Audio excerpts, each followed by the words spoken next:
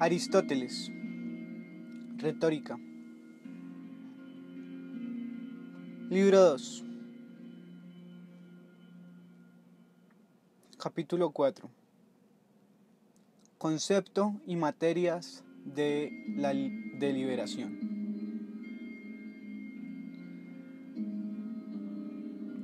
Cuatro punto uno.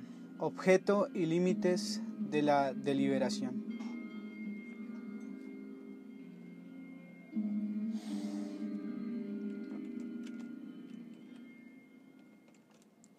Ante todo, se ha de establecer sobre qué bienes o males delibera el que hace un discurso deliberativo, puesto que no cabe deliberar sobre cualquier cosa, sino solo sobre lo que puede suceder o no. Habida cuenta que no es posible ninguna deliberación sobre lo que necesariamente es, eh, es o será, o sobre lo que es imposible que exista o llegue a acontecer. Incluso no cabe deliberar acerca de todos los posibles, porque de entre todos, porque de entre los bienes que pueden suceder o no, hay algunos que acaecen o por naturaleza o por suerte, respecto de los cuales en nada aprovecha la deliberación. Resulta evidente, en cambio, sobre qué cosas es posible deliberar estas son las que se relacionan propiamente con nosotros y cuyo principio de producción está en nuestras manos. Y, por eso, especulamos con cierta reserva hasta el instante en que descubrimos si tales cosas son posibles o imposibles de hacer por nosotros. Ahora bien, respecto de aquellas cosas que solemos someter a debate, ni es preciso en la ocasión presente enumerarlas con exactitud una por una, ni tampoco dividirlas en especies, ni, menos aún, delimitarlas entre sí. En cuanto fuere posible conforme a la verdad, puesto que todo esto no es propio del arte retórico, sino de otro arte, de más discernimiento y veracidad. Y puesto que, por otro lado, actualmente se han introducido en la retórica muchas más materias de las que corresponden a sus reflexiones propias. Porque es cierto que lo que ya antes hemos tenido ocasión de decir sobre que la retórica se compone, por un lado, de la ciencia analítica y, por otro lado, del saber político que se refiere a los caracteres, y sobre que es además análoga de una parte a la dialéctica y de otra a los razonamientos sofísticos. Pero cuanto más se trate de equiparar a la dialéctica o a la propia retórica, no con facultades, sino con ciencias, tanto más se estará desfigurando inconscientemente su naturaleza. Al pasar con ello a construir ciencias concernientes a determinadas materias establecidas y no sólo a discursos.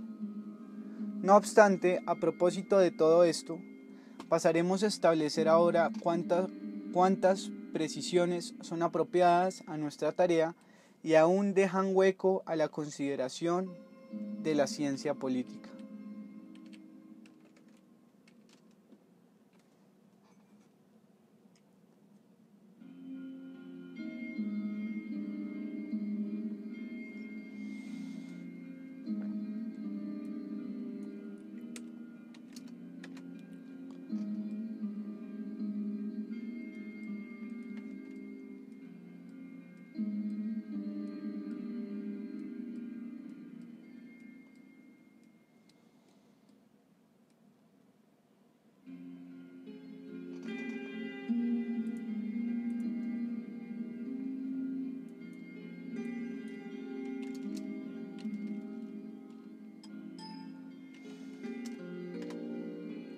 4.2 Temas de la deliberación.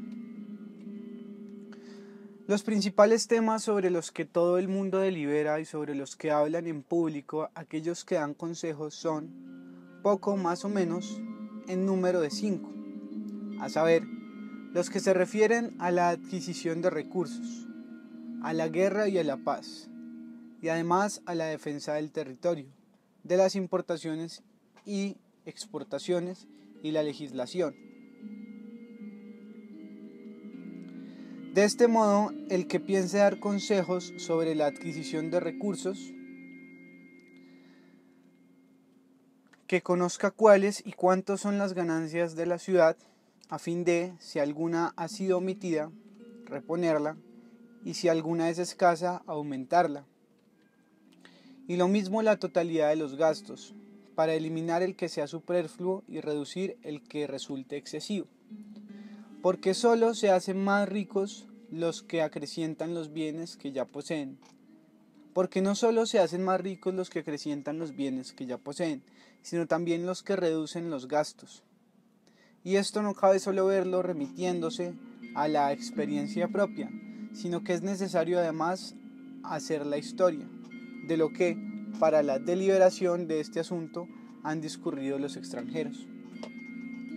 En lo que respecta a la guerra y la paz, es preciso conocer la potencia de la ciudad, cuántas fuerzas posee actualmente y en cuánto puede acrecentarlas, así como de qué clases son las que tiene a su disposición y las que puede añadir, además de cómo fueron las guerras que sostuvo y el modo como guerreó. Tampoco basta aquí el conocimiento de la propia ciudad, sino que se hace necesario el de los pueblos vecinos, tanto en lo que se refiere a contra qué ciudades es verosímil que haya guerra, a fin de mantener la paz con las más fuertes y en cambio procurar la guerra contra las más débiles. Como también en lo que se refiere a si las potencias están equilibradas o son desiguales, pues en aquello estriba para la ciudad el ser superior o inferior, por lo demás, también en esto es necesario no solo haber estudiado las guerras propias, sino igualmente cómo se resolvieron las de los otros, pues acontece que de causas análogas se produzcan resultados semejantes. En cuanto a la defensa del territorio, no puede desconocerse cómo está custodiado, sino que, al contrario, se ha de saber la cantidad y la forma de la defensa existente así como los lugares en que están las fortalezas, lo que por cierto es imposible para el que no tiene experiencia del territorio, a fin de que, si la defensa es pequeña, sea reforzada, si resulta superflua, se la retire y se protejan, en todo caso, los lugares más adecuados. Por lo que toca a las provisiones, se debe conocer cuántos y cuáles gastos son suficientes para la ciudad, que qué es lo que ella produce por sí misma y lo que importa, y qué artículos de exportación e importación precisan otros pueblos, a fin de suscribir con ellos acuerdos y pactos. En este sentido, es menester vigilar con cuidado que estén libres de queja los ciudadanos correspondientes a dos clases de pueblos, los más fuertes y los que son útiles para el comercio. En orden, pues, a la seguridad es necesario poder establecer teóricamente todas estas cosas, pero no es menos necesario tener conocimiento de la legislación, ya que en las leyes estriba la salvaguardia de la ciudad. Por lo tanto, se hace imprescindible saber cuántas son las formas de gobierno y qué conviene a cada una de ellas y bajo qué condiciones, ya sean propias de la forma misma del gobierno, ya sean contrarias a ellas. Resulta natural que se corrompan, y digo condiciones propias porque en efecto exceptuando la forma mejor de gobierno, todas las demás, si se reflejan o si se ponen demasiado en tensión, terminan por corromperse, como, por ejemplo, ocurre con la democracia, que no solo, si se relaja, llega a hacerse tan débil que al fin se transforma en oligarquía, sino que igualmente, si se la presiona excesivamente, es lo mismo que la forma anguileña o achatada de la nariz, que no solo si se la atempera llega a un justo medio, sino que al revés también. Si se la encorva o se la achata excesivamente termina en tal estado que ya ni parece ser una nariz. Con todo lo que atañe a la legislación, no solamente es útil considerar cuál es la forma de gobierno que más conviene, estableciéndolo esto teóricamente a partir de las del pasado, sino que también es útil conocer las dos sino que también es útil conocer las de los demás pueblos y cuáles de aquellas formas de gobierno se ajustan a la naturaleza de estos. De manera que se hace evidente lo útiles que, en orden a la legislación, resultan los viajes por el mundo, puesto que en ellos se pueden aprender las leyes de los pueblos, así como lo resultan en orden a las deliberaciones políticas, los escritos históricos de aquellos que escriben sobre las acciones de los hombres. Pero todo esto es ya tarea de la política y no de la retórica. Estas son, pues, las materias principales a propósito de las cuales debe obtener sus enunciados el que pretenda deliberar. Digamos ahora a partir de qué elementos nos es posible aconsejar o disuadir, sea sobre estas materias o sobre cualquiera otras. Capítulo 5. La felicidad. Fin de la deliberación. 5.1. Definición de felicidad. Existe un objetivo más o menos el mismo para cada hombre en particular y para todos en común, mirando al cual se elige y se desecha. Y tal objetivo es, para decirlo en resumen, la felicidad.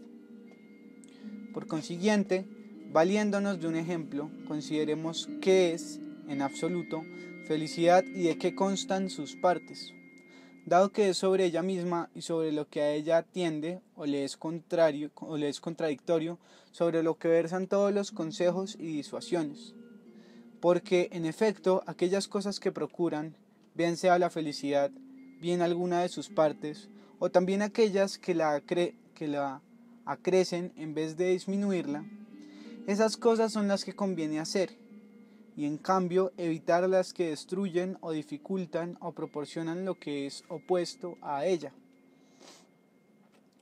Así pues, entendemos por felicidad o el éxito acompañado de virtud o la independencia económica o la vida placentera unida a la seguridad o la pujanza de bienes materiales y de cuerpo justamente con la facultad de conservarlos y usar de ellos pues todos los hombres están sobre poco, más o menos, de acuerdo en que en una de estas cosas, o en la mayoría, reside la felicidad.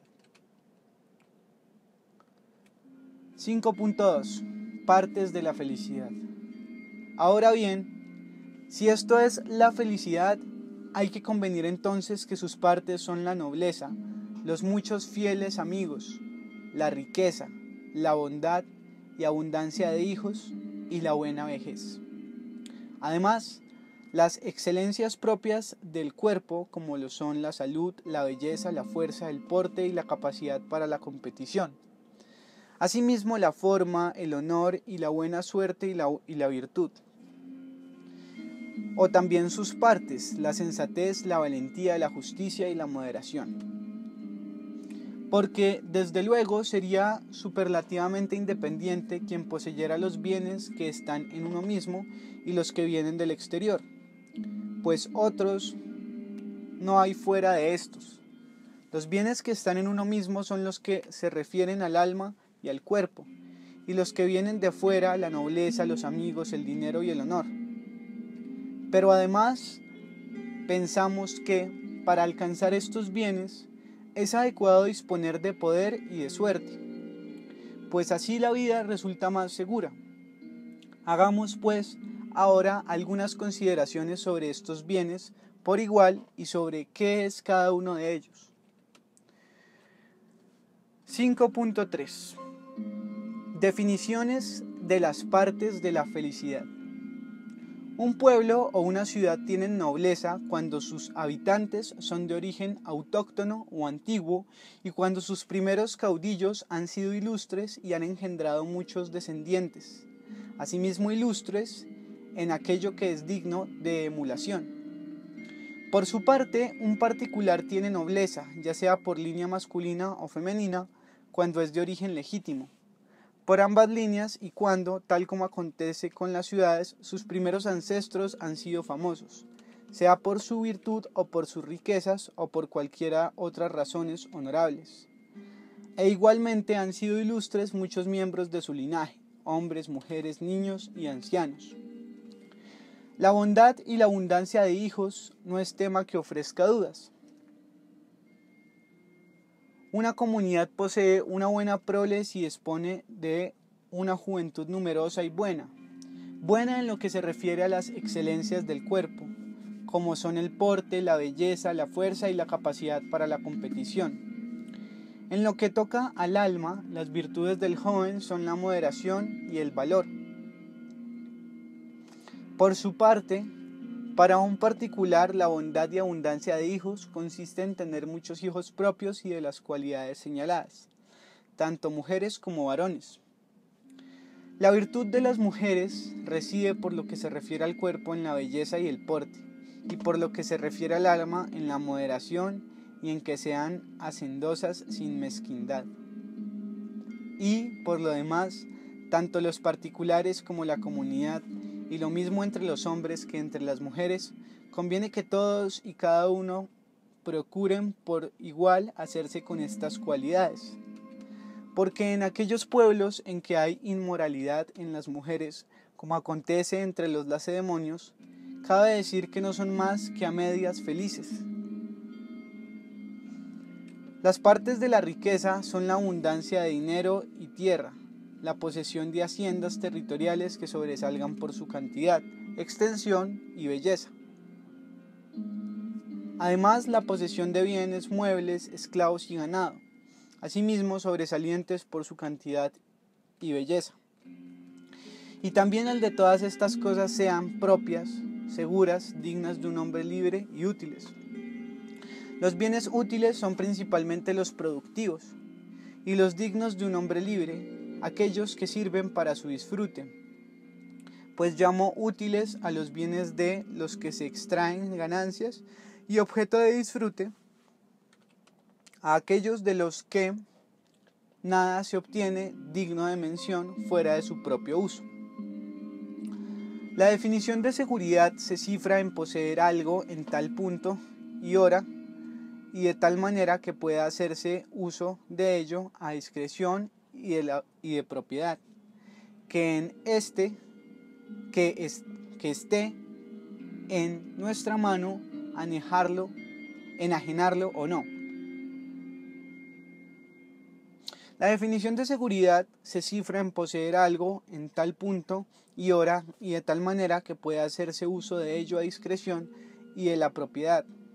En este y de la propiedad en que esté en nuestra mano enajenarlo o no. Por su parte, llamo enajenación a la donación y a la venta. Pero, en términos generales, ser rico consiste más en usar los bienes que en poseerlos pues lo propio de los bienes es que se pongan en acto y su uso es la riqueza.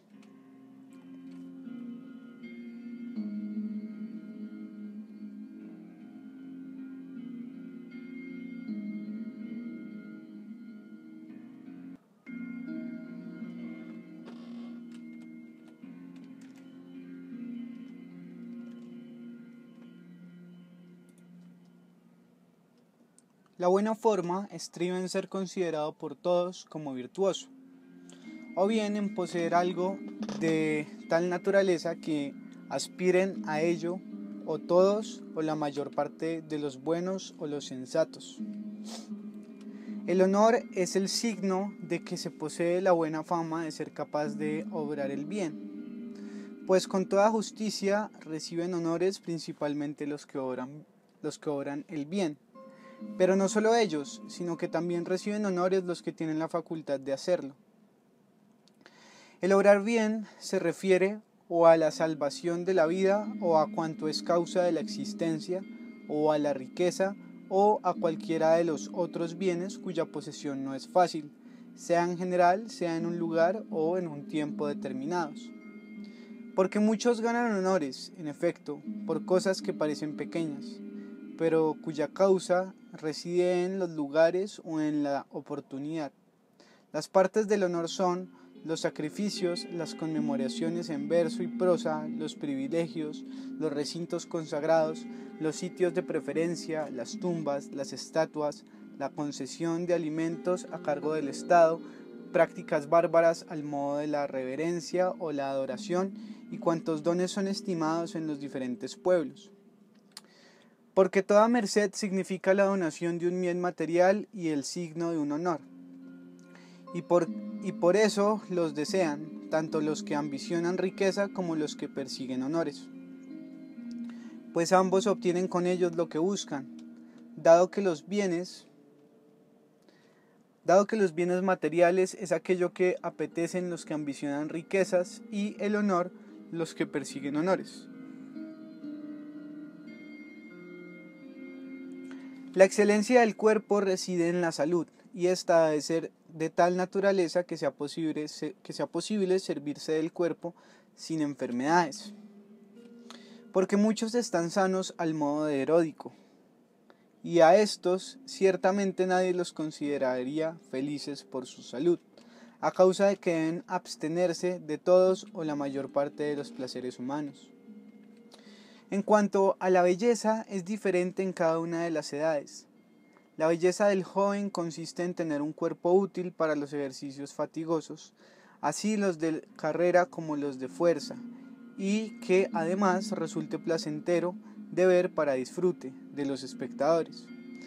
Por tal motivo, los jóvenes más bellos son los que actúan en la, en la pentatlón, ya que por, por naturaleza están igualmente dotados para los ejercicios de fuerza y de velocidad. Por su parte, la belleza del hombre maduro radica en la aptitud para los trabajos de la guerra, así como en que parezca ser al mismo tiempo agradable y temible. Finalmente, la belleza del anciano reside en la suficiencia para resistir las fatigas necesarias y en estar libre de dolores por no sufrir ninguno de los inconvenientes que afligen a la vejez. La fuerza es la facultad de mover otro cuerpo según se quiera y como necesariamente se mueve otro cuerpo o arrastrándolo o empujándolo o elevándolo o apretándolo u oprimiéndolo, resulta así que el que es fuerte lo es porque es capaz de hacer todas estas cosas o alguna de ellas. La excelencia en el porte consiste en sobresalir en estatura, volumen y anchura sobre los demás, pero ello en tal medida que los movimientos no se hagan pesados a causa de algún exceso. En cuanto a la excelencia del cuerpo para la competición, está formada por el porte, la fuerza y la velocidad, ya que el que es veloz también es fuerte pues en efecto el que tiene la facultad de impulsar sus piernas de una determinada manera y moverlas rápidamente a grandes zancadas, ese es un buen corredor. El que está capacitado para oprimir y sujetar es un buen luchador. Y el que lo está para empujar a base de golpes, buen, buen pugilista. El que posee estas dos facultades sirve como pancreasista y el que las posee todas como pentatlista. La buena vejez es la vejez lenta y sin dolor, porque no es buena vejez la del que, la del que envejece rápidamente, ni tampoco la del que envejece con lentitud, pero con sufrimiento. Ahora bien, ella misma procede de las excelencias del cuerpo y de la fortuna, pues el que no está sano no es fuerte, no está libre de padecimientos ni de dolores, así como tampoco cabe llegar a la longevidad sin ayuda de la fortuna. Existe, desde luego, aparte de la fuerza y de la salud, otra facultad para disponer de una larga vida, puesto que muchos, sin las excelencias del cuerpo, llegan con todo a, a longevos. Pero una discriminación rigurosa de este tema en nada sería útil para lo que ahora nos ocupa. Lo que significa tener muchos fieles y amigos no es, no es obscuro, toda vez que amigo se define como aquel que pone en práctica por causa de otro lo que juzga que es bueno para ese otro. Quien dispone de muchos conocidos de esta clase tiene muchos amigos, y si además son hombres honrados, entonces tiene amigos fieles. La buena suerte reside en que se produzca y alcancen respecto de aquellos bienes cuya causa es la fortuna, o todos, o la mayoría, o los más grandes. La fortuna es causa de algunos bienes de los que también son causas las artes, y de otros muchos en los que no caben las artes, como son aquellos que proceden de la naturaleza, aunque también es posible que sean contrarios a la naturaleza. Así, por ejemplo, de recobrar la salud es causa un arte, mientras que de la belleza o del porte lo es la naturaleza. En términos generales, los bienes procedentes de la fortuna son aquellos de los que se tiene envidia, y también es causa la fortuna de aquellos bienes que se producen sin razón, como es el caso de que los demás hermanos sean feos y uno bello, o de que los otros no vieran el tesoro que uno de ellos encontró, o de que la flecha hiriese al que estaba al lado de uno, pero no a este, o de que faltasen únicamente los de los o, o de que faltase únicamente el que siempre acudía ahí, en cambio, perecieran los que solo vinieron una vez. En todos estos casos, en efecto, parece intervenir la buena suerte. En fin, por lo que atañe a la virtud y puesto que ella es el lugar común más apropiado para el tratamiento de los elogios, propondremos su definición cuando nos ocupemos del elogio.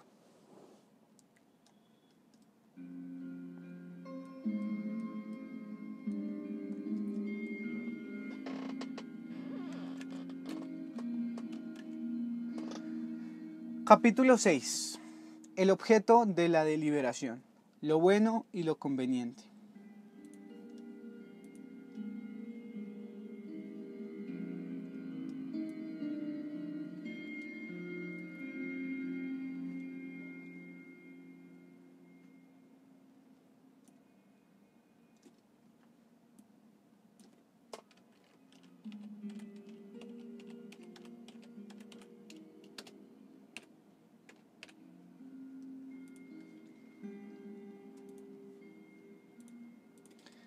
6.1 Definiciones y elementos.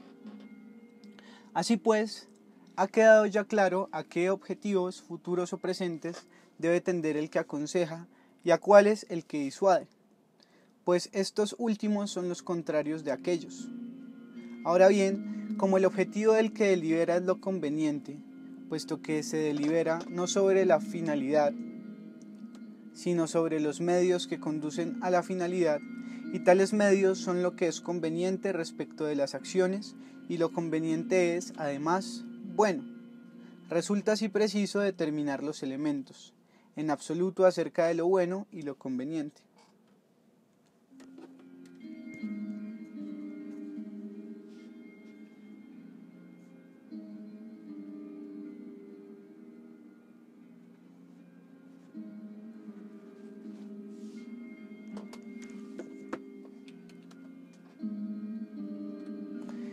Entendamos por bueno lo que es en sí y por sí digno de ser escogido y con vistas a lo cual elegimos otra cosa.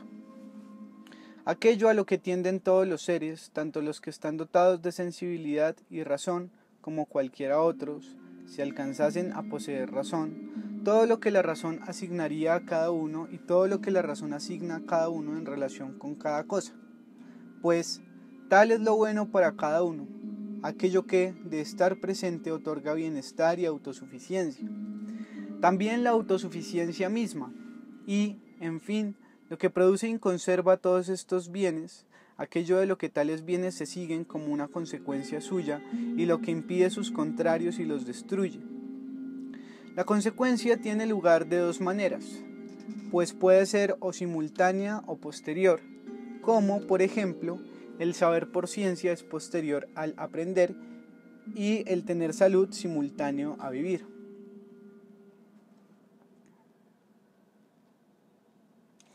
Y las causas productoras de tres maneras.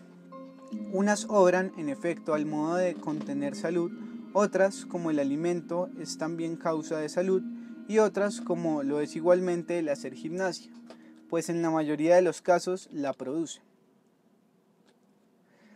Establecido esto, resulta necesario que sean buenas tanto la adquisición de bienes como la pérdida de males, ya que de esto último se sigue simultáneamente el no tener mal, así como de lo primero se sigue el tener bien después.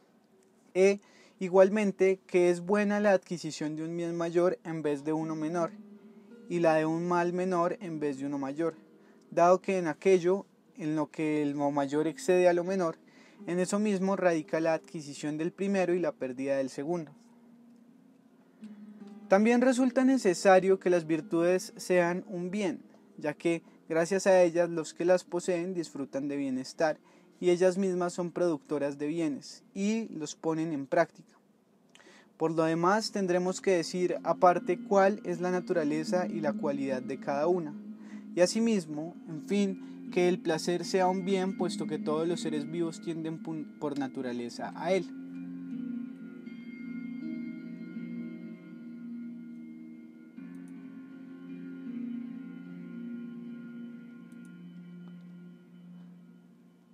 De modo que las cosas placenteras y las bellas son forzosamente buenas. Las primeras porque causan placer. Y en lo que se refiere a las bellas porque unas son placenteras y otras elegibles por sí mismas.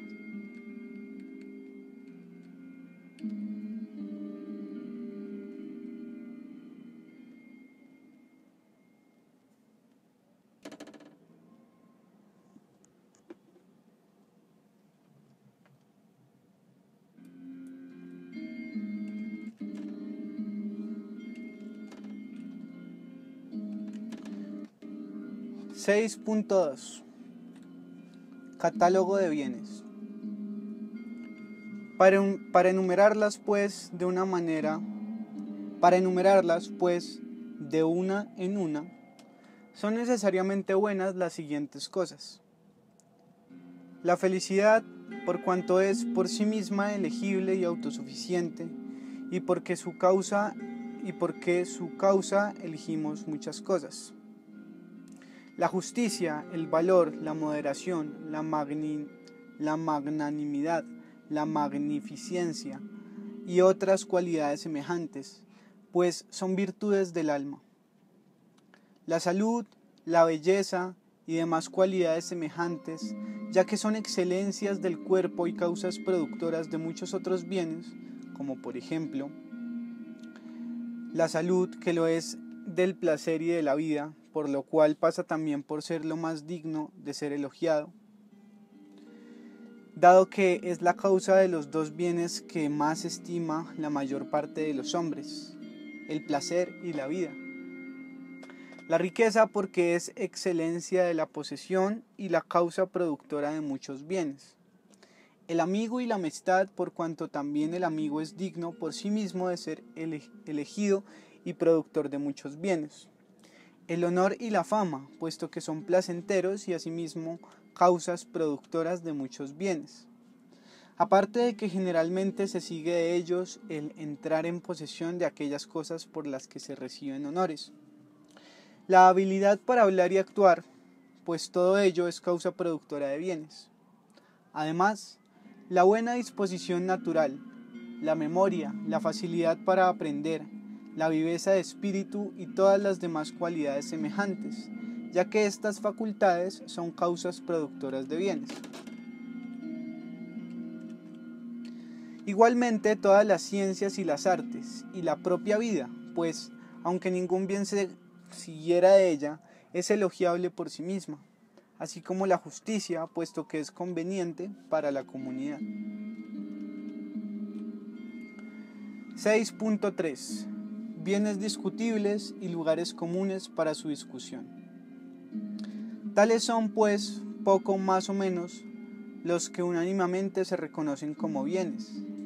En cambio, en los que son discutibles, los silogismos han de obtenerse de las siguientes premisas.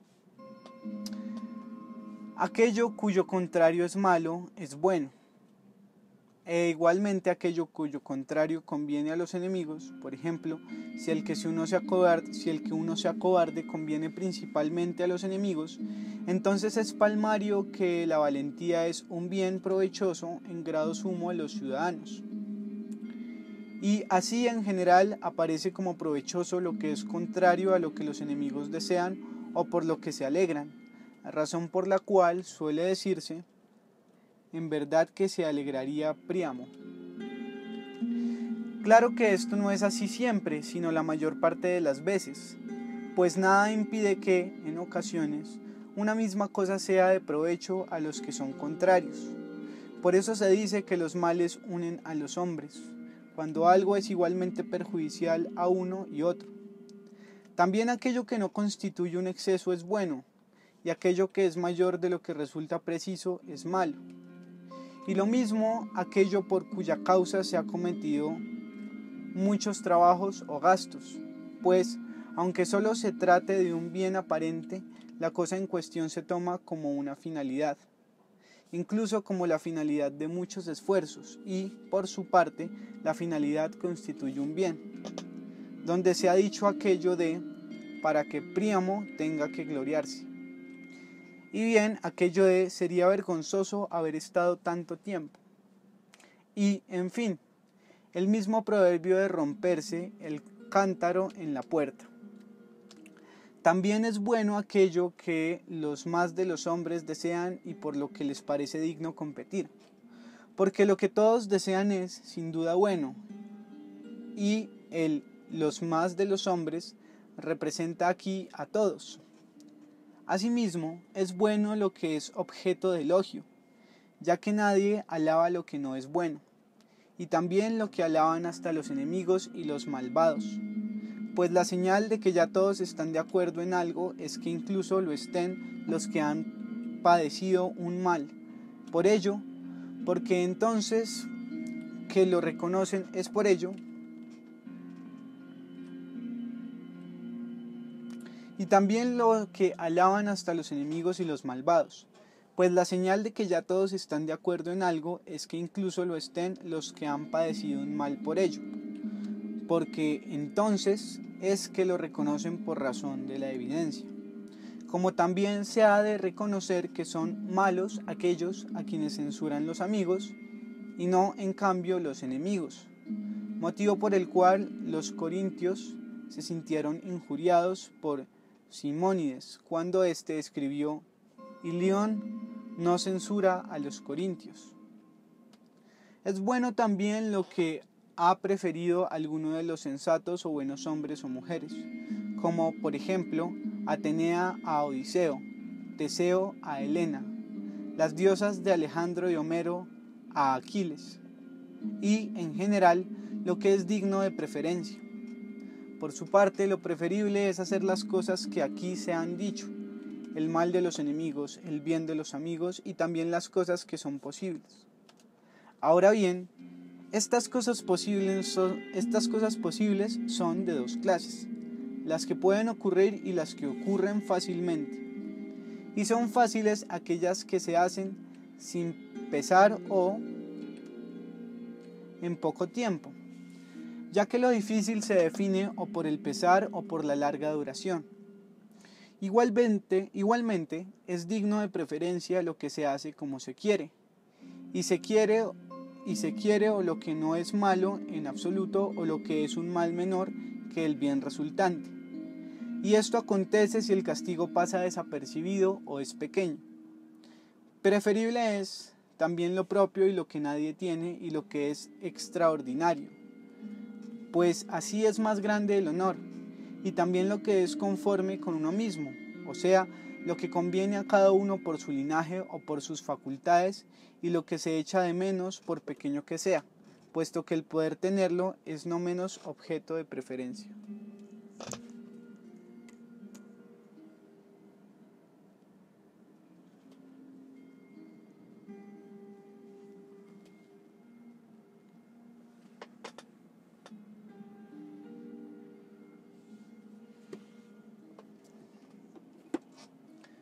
Asimismo, es preferible lo que es sencillo de ejecutar, pues ello es posible en cuanto que es fácil.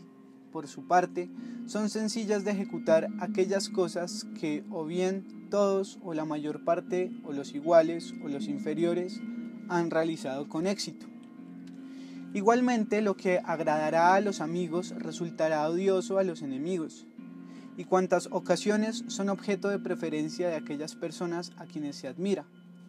Además, aquello para lo que se tiene buena disposición natural y experiencia, pues cabe pensar que se realice más fácilmente con éxito, y también todo lo que no sería objeto de preferencia de ningún hombre malo, pues ello sería, será sin duda lo más digno de elogio, y todo lo que se desea, dado que es lo que aparece, no solo como placentero, sino también como lo mejor pero sobre todo es preferible para cada uno aquello que coincide con su propio gusto. Como, por ejemplo, para el que está afanoso de victorias el hecho de alcanzar una, o para el que desea honores obtener una distinción, o para el que apetece riquezas hacerse con dinero, y de igual modo todo lo demás. En lo que se refiere a lo bueno y lo conveniente, y lo conveniente, hay que derivar pues de estas premisas las pruebas por persuasión.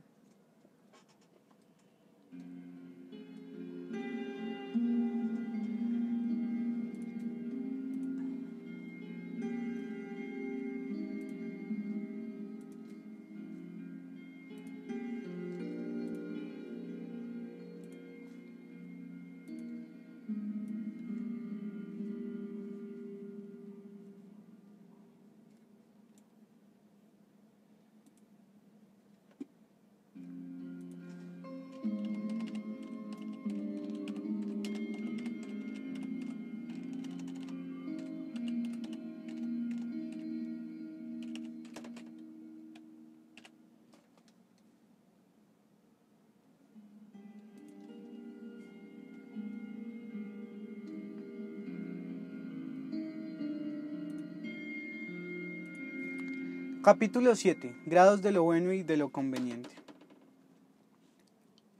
7.1. Definiciones. Como con frecuencia, aún estando de acuerdo en que dos cosas son convenientes, se disputa sobre cuál de ellas lo es más. Corresponde tratar a continuación sobre el bien mayor y sobre lo más conveniente.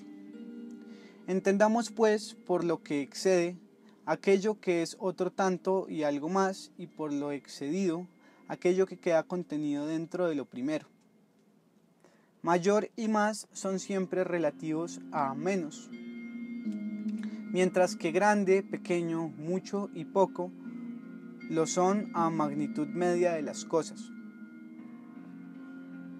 Es grande aquello que la excede, pequeño lo que no llega y lo mismo ha de decirse de lo mucho y lo poco. 7.2. Gradaciones en los géneros. Y puesto que decimos que lo bueno es lo que es digno de ser elegido en sí, por sí y no por otro, e igualmente aquello a que tienden todos los seres, lo que elegirían cuantos dispusiesen de razón y sensatez y lo que es apropiado para producirlo o conservarlo, o de lo cual se sigue, como también aquello por cuya causa se hace algo es el fin. Y si el fin es la causa de todo lo demás, y como, por otra parte, cada uno es bueno, lo que se le representa, para cada uno es bueno lo que se le representa como tal en relación consigo mismo, Resulta así necesario que el más constituya un bien mayor que el uno y los menos siempre que este uno o estos menos queden comprendidos en el más, ya que el más es lo que excede y aquello que contiene es lo excedido. Y si el máximo de un género excede al máximo de otro género, entonces los mismos individuos del primero exceden a los mismos individuos del segundo, y a la inversa, si los mismos individuos de un género exceden a los mismos individuos de otro género, entonces el máximo del primero excede también al máximo del segundo.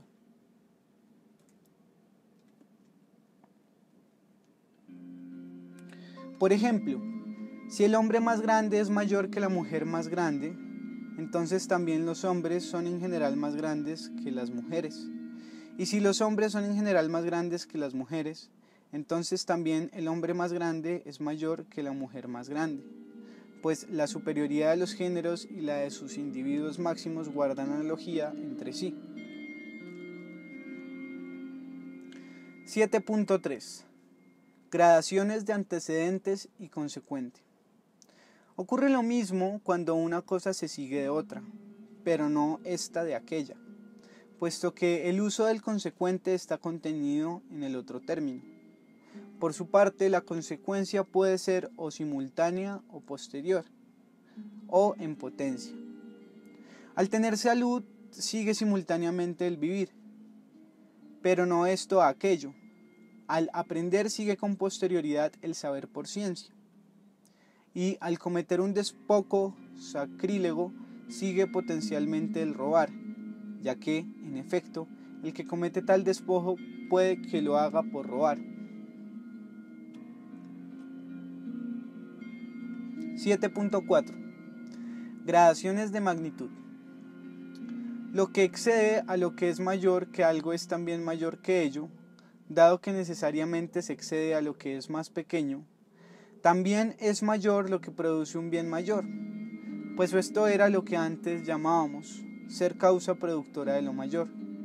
E igualmente sucede con aquello cuya causa productora es mayor, porque si la salud es más digna de preferencia que el placer y es además un bien mayor, entonces la salud es mayor que el placer. Asimismo, lo que es preferible por sí es mayor que lo que no lo es por sí. Por ejemplo, la fuerza es un mayor objeto de preferencia que la salud, pues esta última no es por sí, cosa que es, en cambio, la primera, en lo cual, según, según vimos, residía el bien. También lo que constituye un fin es mayor que lo que no, dado que esto es preferido por causa de otra cosa, mientras que aquello lo es por causa de sí mismo.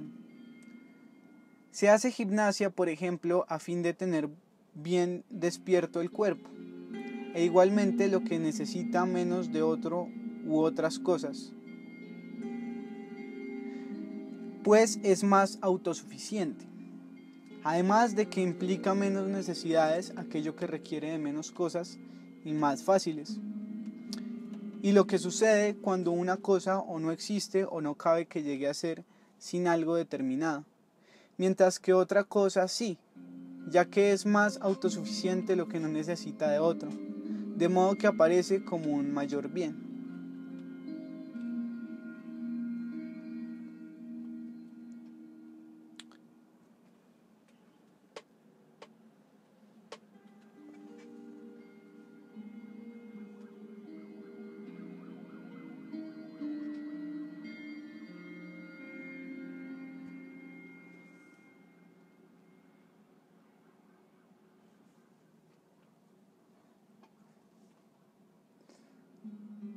7.5.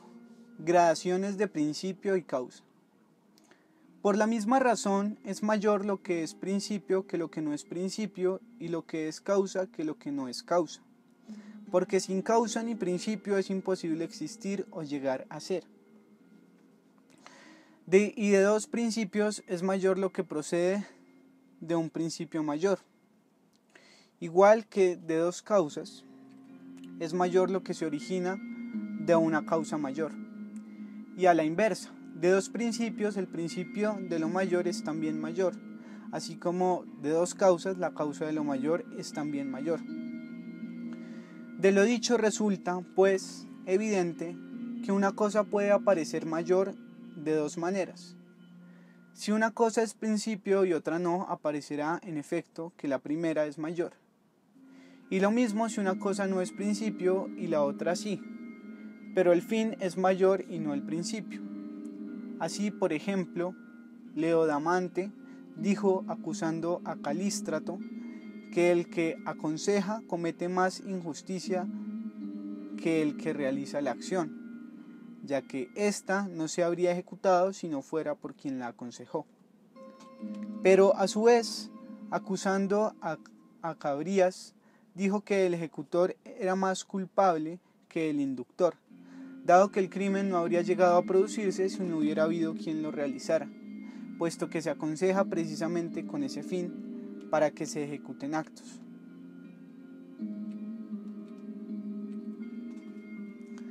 ...7.6... Otras gradaciones de diversos criterios.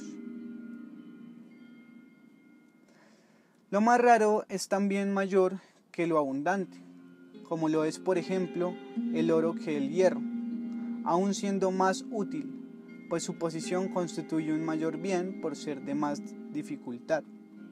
De otro modo, sin embargo, lo abundante es mayor que lo raro, a saber, cuando su uso es superior, porque muchas veces excede a pocas veces.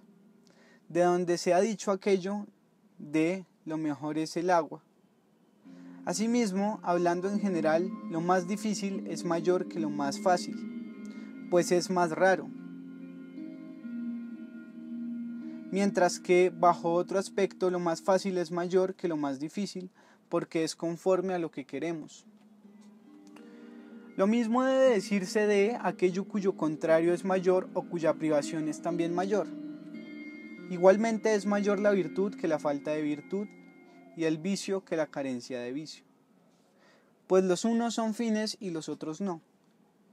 Y las virtudes y vicios de los que se siguen obras más bellas o más vergonzosas son también mayores, como mayores son las obras de las que se siguen mayores vicios y virtudes, puesto que, tal como son las causas y los principios, así son los efectos, y tal como son los efectos, así son también las causas y los principios. Asimismo, son mayores aquellas cosas cuya superioridad es preferible o más bella. Por ejemplo, ver con exactitud es preferible a oler, puesto que la vista es objeto de mayor preferencia que el olfato. Y un mayor amor a los amigos es más bello que, que un mayor afán de riqueza, de modo que el amor a los amigos es preferible al afán de riqueza. Inversamente, el exceso de las cosas mejores es mejor que el de las cosas más bellas. Más bello. Y lo mismo aquello cuyo deseo es más bello o mejor. Pues los mayores apetitos se dirigen a los objetos mayores. Así como también los deseos que se refieren a las cosas más bellas o mejores son, por la misma razón, los mejores y más bellos. Igualmente los objetos de que tratan las ciencias más bellas y virtuosas constituyen también las materias de conocimiento más bellas y virtuosas. Pues así como es la ciencia, así es la verdad. Cada ciencia, en efecto, domina sobre lo que le es propio, y, por tal razón, las ciencias que se ocupan de los objetos más bellos y nobles guardan con ellos analogía por su parte, lo que juzgarían o han juzgado como un bien mayor quienes son sensatos, sean todos o muchos, o la gran mayoría, o los de más autoridad. Eso necesariamente ha de ser así, bien sea en absoluto o bien de conformidad con la sensatez que con que haya emitido su juicio. Y esto es, desde luego, común a todo lo demás puesto que el qué, el cuánto y el cuál son de acuerdo a cómo pueden afirmarlos la ciencia y la sensatez. Pero nosotros lo hemos afirmado respecto del bien, ya que definimos el bien como lo que elegiría todo aquel que fuese sensato.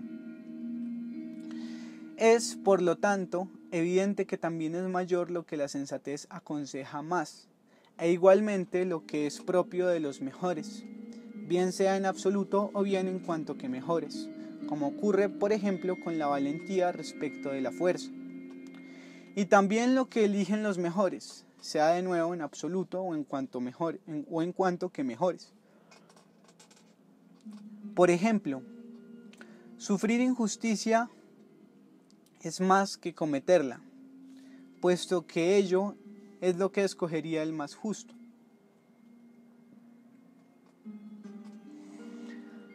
así como también es mayor lo placentero que lo que no lo es, dado que todos los seres perciben el, placer y apetecen el goce por sí mismo. Y estos son los criterios con los que hemos definido el bien y la finalidad.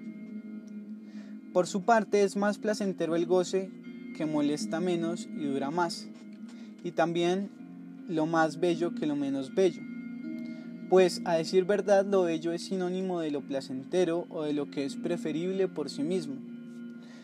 Constituyen igualmente bienes mayores aquellas cosas de las que más querrían los hombres ser causa, bien para sí mismos o bien para sus amigos, y, en cambio, mayores males aquellas de las que menos querrían ser causa.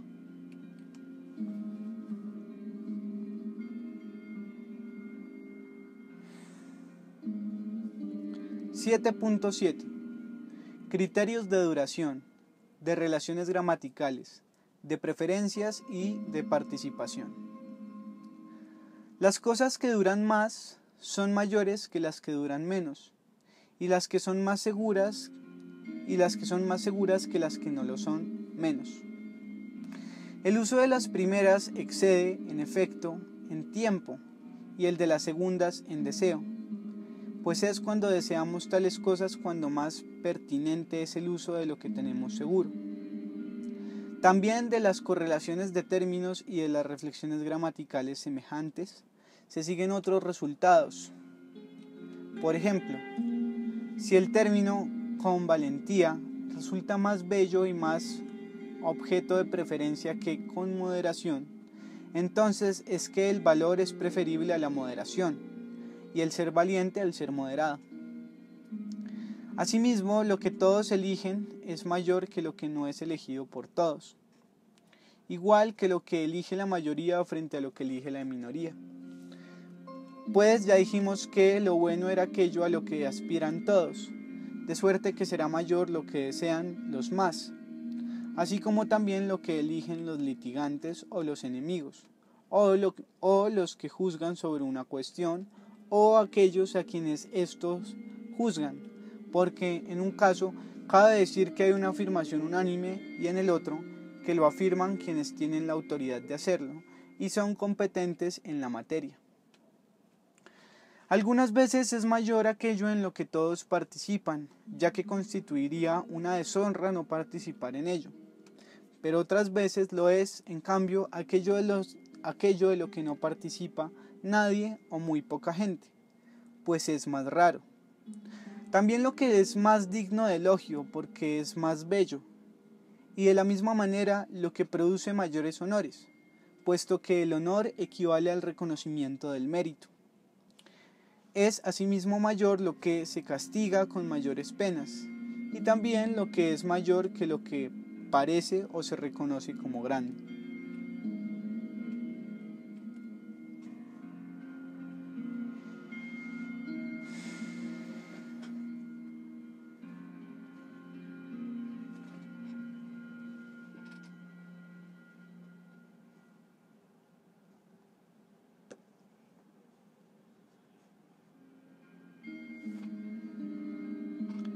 7.8. Gradaciones según criterios formales.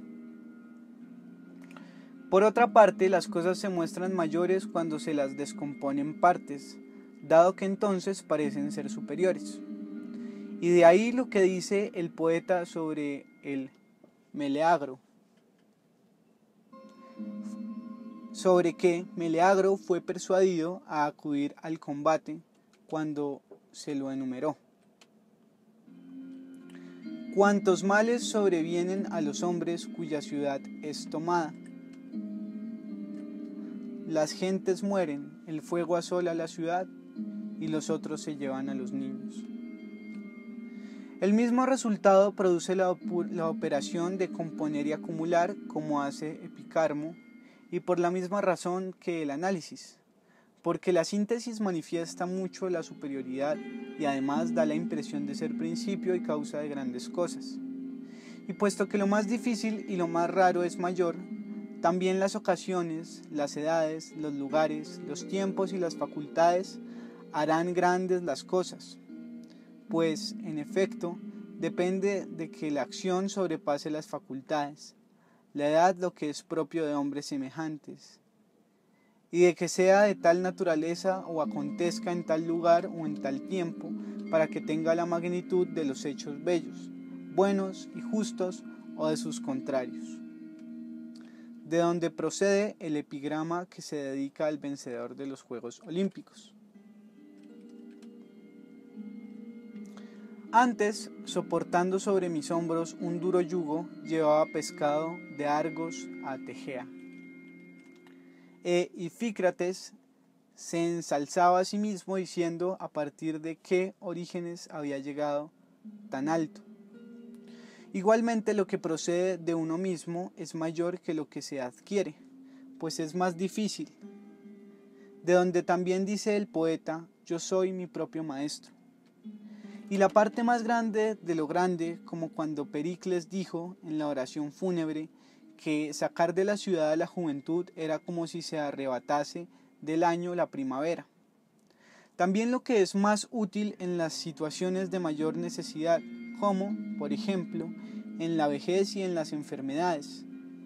Y de dos cosas, la que se acerca más a la finalidad, como igualmente lo que es para uno mismo que lo que es en absoluto, y lo que es posible que lo imposible, pues lo primero sirve para alguien y lo segundo no, y también lo que atañe a la finalidad de la vida, ya que las cosas que más se refieren al fin son aquellas mismas más fines.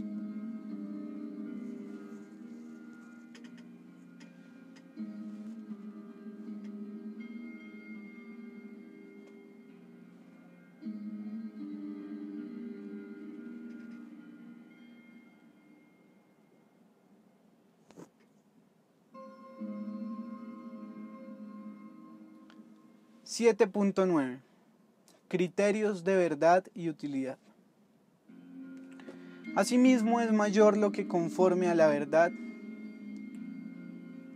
Asimismo es mayor lo que es conforme a la verdad que lo que es conforme a la opinión. Lo que es conforme a la opinión se define como aquello que no se elegiría si hubiera de quedar oculto y por eso podría parecer que es preferible recibir un beneficio en vez de hacerlo. Lo primero se elegiría en efecto aunque quedase oculto. En cambio, no parece que se escogiera hacer un beneficio si no hubiera de quedar oculto. También son mayores todas aquellas cosas que se quieren que se quiere ser más bien que parecer, pues se acercan más a la verdad. Y por eso se dice que la justicia es un bien pequeño, ya que es preferible parecer justo hacerlo, lo que ciertamente no ocurre con la salud. Igualmente es mayor lo que es más útil a muchas cosas, como por ejemplo lo que lo es para la existencia, la buena vida, el placer y las bellas acciones. Por tal razón, la riqueza y la salud parecen ser los bienes más grandes, puesto que contienen todos estos otros. Y también lo que es menos molesto y está acompañado de placer. Muchas cosas son, en efecto, más que una, y, así, resulta superior un bien, que simultáneamente es placer y ausencia de pesar. Como asimismo, de dos cosas la que añadía la que añadida a una tercera hace mayor al todo, como lo que no cabe ocultar que existe frente a lo que pasa desapercibido, ya que lo primero está más cerca de la verdad. Por eso, ser rico parecerá siempre un bien mayor que aparentarlo. E igualmente lo que es muy apreciado, ya sea por ser único, ya sea que, es, que, esté, que esté acompañado de otras cosas razón por la cual no es el mismo castigo privar de un ojo a un tuerto que al que tiene dos, pues al primero se le priva de lo que apreciaba más. Con esto, pues, quedan sobre poco más o menos enumeradas las premisas de las que conviene obtener las pruebas por persuasión en lo que se refiere a aconsejar y disuadir.